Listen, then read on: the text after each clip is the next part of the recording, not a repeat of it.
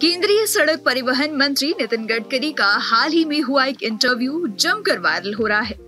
अपने इस viral interview में उन्होंने कई सारे किस्से साझा किए हैं, जिसे सुन जनता को हैरानी हुई है।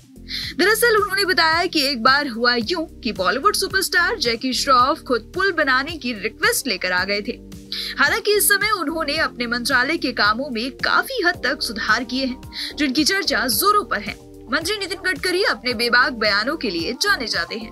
आगे का वीडियो देखने से पहले हमारे चैनल एन एन बॉलीवुड को अगर आपने अभी तक सब्सक्राइब नहीं किया है तो जल्दी से कर लें।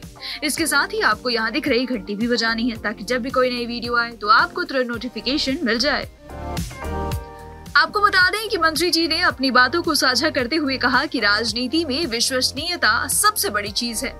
इसी के आधार पर पार्टी और नेतृत्व का मूल्यांकन होता है। गडकरी आगे कहते हैं, मैं मुंबई में 18 साल रहा, अब तो मुंबई जाता नहीं हूँ। मैंने Worli, Bandra sea link project बनाया, मुंबई पूना एक्सप्रेसवे हाईवे बनाया।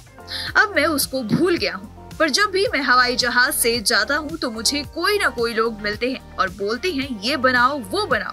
तो मैं बोलता हूँ, मैं मुंबई में नहीं हूँ।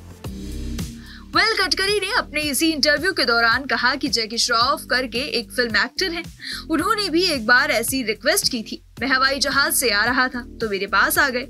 और मुझे कहने लगे, देखो नितिन जी, ये साउथ मुंबई को वो मुंबई पूरा हाईवे से जोड़ो डाले ये बीटी से डायरेक्ट उधर जा सकेंगे।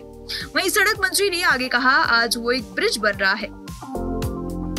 तब जैकी श्रॉफ की इस मांग पर केंद्रीय मंत्री ने कहा, जैकी जी, आपको पता नहीं होगा, आजकल मैं मुंबई में नहीं हूँ। हमारा राज्य भी नहीं है और मैं दिल्ली गया हूँ तो मैं कहाँ से बनाऊँगा? बकौल गडकरी। इसके बाद जैकी श्रॉफ ने कहा, आपको क्या लगता है? मुझे मालूम नहीं है, मुझे सब मालूम है।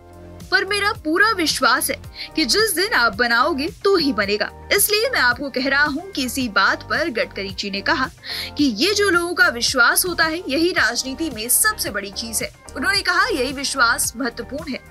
तो आपको हमारा ये वीडियो कैसा लगा और आप कौन से टॉपिक पर वीडियोस देखना चाहते हैं, हमें कमेंट सेक्शन में ज़रूर बताएँ। इसके साथ ही हमारे चैनल को सब्सक्राइब करना ना भूलें।